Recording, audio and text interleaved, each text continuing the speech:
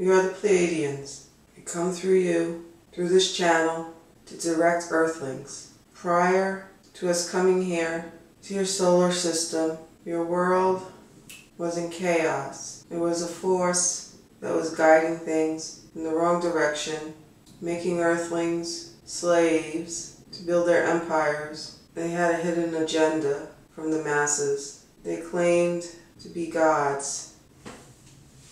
They were beings with advanced technology. Some has powers because enlightenment provided them with certain abilities, but they used that in selfish purposes, not for the betterment of mankind. Those beings are no longer present in form, but have penetrated the human DNA, and you live with its consequences. Human race has sequences of their bloodline intertwined with the original beings of your planet. Not all humans have this DNA. So you see, they are still present in what is going on in your world. You can ascend past all this by applying your gifts and talents to counteract their presence. To do this, set a goal each day to sit down and meditate. Use your energies during meditation to ascend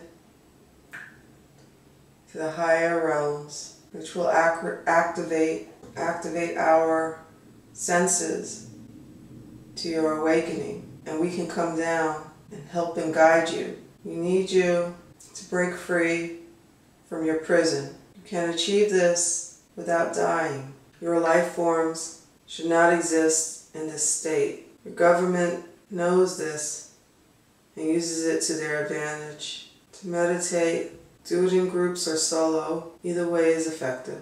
Just sit down, relax, close your eyes, and breathe through the count of four. Hold your breath to the count of six if possible.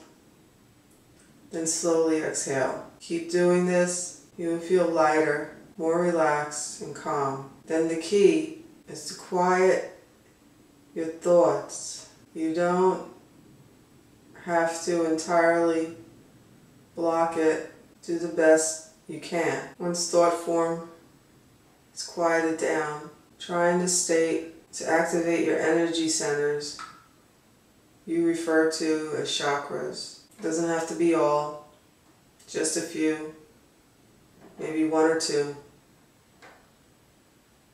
Enough to send up in our direction. You will come down to greet you. We have the ability to help you fight your government, but because free will cannot interfere on our own, we need you to reach out to us in energy waves. That is how we can communicate with you without your military knowing. When this happens, we will reach out in vast numbers to certain areas on your planet. You will know us by our lights. They'll be flickering on round craft.